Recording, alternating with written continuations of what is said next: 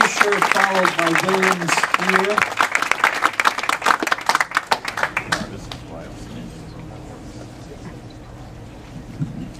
Hi, I'm Greg Fisher. I'm here in my role as a director for Americans for Legal Reform.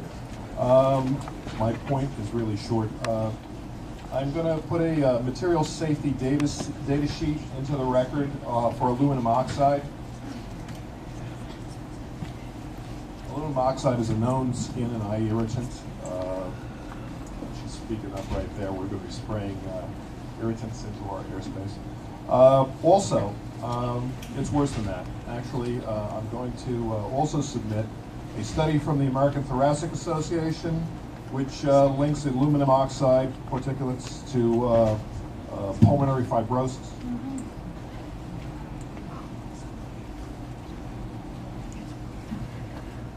Just in short, uh, I incorporate what what prior speakers said. there is significant health risk from inhaling uh, aluminum compounds. And, uh, and uh, Americans for Legal Reform supports this legislation wholeheartedly. Thank you. Thank you. Williams here, followed by Harold Cohn.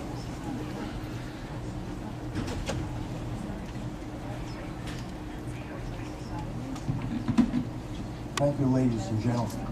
Uh, this piece of legislation is absolutely necessary. And it is also necessary that we not forget the Constitution. And in the Constitution, it does mention promoting the general welfare. And this is in violation of that uh, with all of the spraying that's going on. Uh, also, we have to keep in mind the 10th Amendment to the Constitution, which says that all powers not given to the federal government, the states, reside with the states and the people. And the 10th Amendment has not been used enough.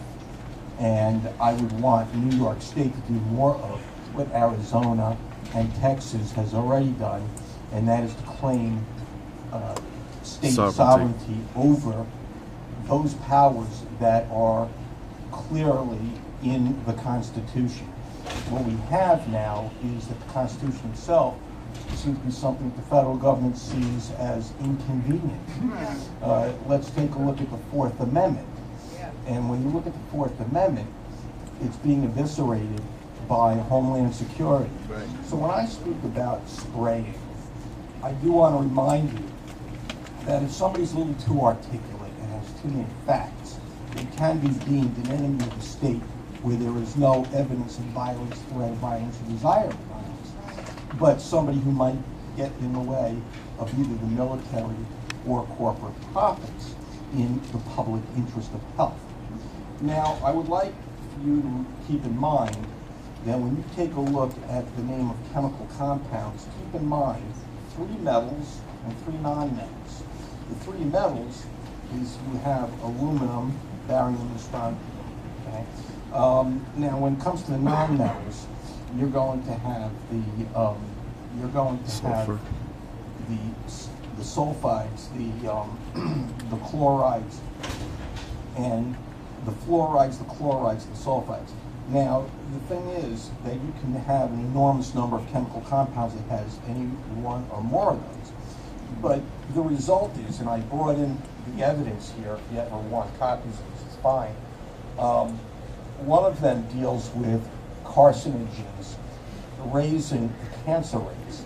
And the other one deals with lowering the fertility rates. The way the fertility rates have been lowered, and it was first discovered with frogs, and then it started to show up in terms of statistics involving people, is that first there's the obvious one, our lower sperm counts, but then was something less obvious, and that was the issue of women's eggs not being receptive.